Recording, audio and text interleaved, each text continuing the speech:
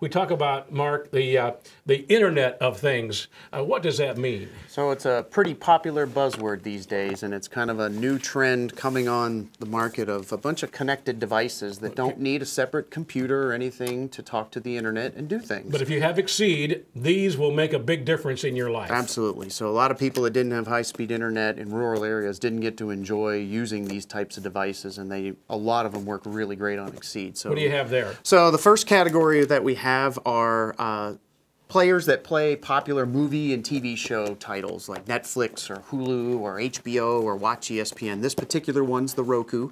Um, it can stream about 200 different channels, mm. and it's really popular, easy to use, and frequently, though, it required better than three or four megabits per second, like we talked about. Yeah. Works great on Exede If you're an Apple family, there's an Apple TV version that has similar similar things. Uh, this Chromecast from Google is a stick that plugs into your smart TV and can stream those same types of uh, same types of programs. Okay.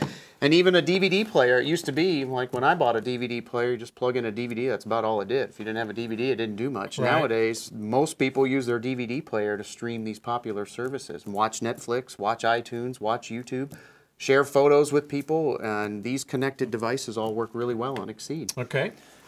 The next kind of media category that a lot of people like to do is they like to listen to music. Sure. And this little guy here is a Sonos uh, connected speaker.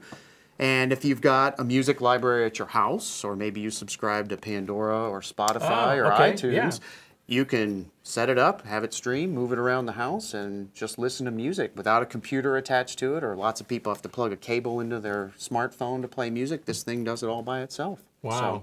And great sound, I'm sure. It is very good, yes. So uh, the third kind of category in the connected home are really, really new stuff around thermostats or refrigerators or smoke alarms or burglar alarms.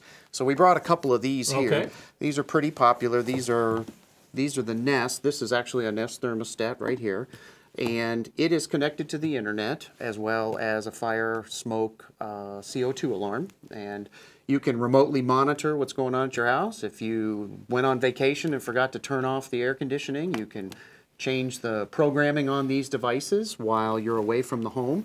It'll send you alerts on your email or your cell phone, give you a text message Well, saying, something. Wow. I detect CO2 leak or something. So Where can people get? We have a lot more, but hmm. where I mean, people say, "Wow, that sounds great, hmm. Mark. Where can I get one of those?" So all of these devices are at your traditional big box stores, Best Buy, Target, Walmart, those kind of places, Okay. as well as Amazon, all the popular online shopping places. Some of them are as cheap as 50 bucks, some of them a couple hundred dollars, but they're really easy to work with. Plug them in, do a little bit of configuration, and you're good to go. All right. Very good. And then you have those are kind of some of the uh, audio things. You also, I guess you'd say, when we go into a, like more of a video Yeah, so now, section, if you will. So if you will, this is video and some security section, and so this one's getting a lot of press right now. The Dropcam video camera, pretty much plug this, uh, pop this guy in anywhere in your house, and you can get video. And say if you want to use it as a security system, detects motion, sends you an alert.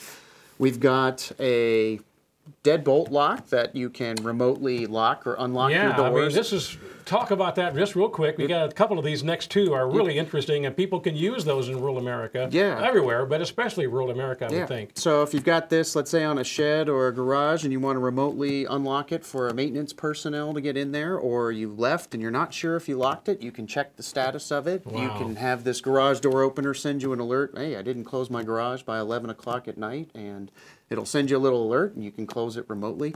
They're really neat. If you lost your key, you can use your smartphone to get into the house, and they're really, like I said. Or again, if you're just again an example, if you're in rural America and, and someone's coming to fix something in your garage or whatever, you can open the garage while you're in the field, That's for right. example. That's right. You can set special codes to just one-time use, Hmm. and it'll alert you when the person is on site and at your property, and you can detect when your children come home or when they leave the house. So what do you have in front of us here now, Mark? So these are a couple more of the kind of next-gen smart home type things. Um, I'll work from right to left. Uh, so a lot of times people say, "Hey, I want to be able to control things with uh, my remote device, with my mobile phone." That switch at the end there, you can plug anything into it and it measures the power that it uses and lets you switch things on and off. So if you want to plug in a lamp that's not a smart lamp or some other type of device. and This here. That one there is just a standard plug. You plug something into it. You can change while you're remotely, uh, while you're gone, whether the appearance of somebody's in your house or not. Okay. This one here is a light bulb. It actually can change the color of the light bulb, the programming of the light bulb. Really?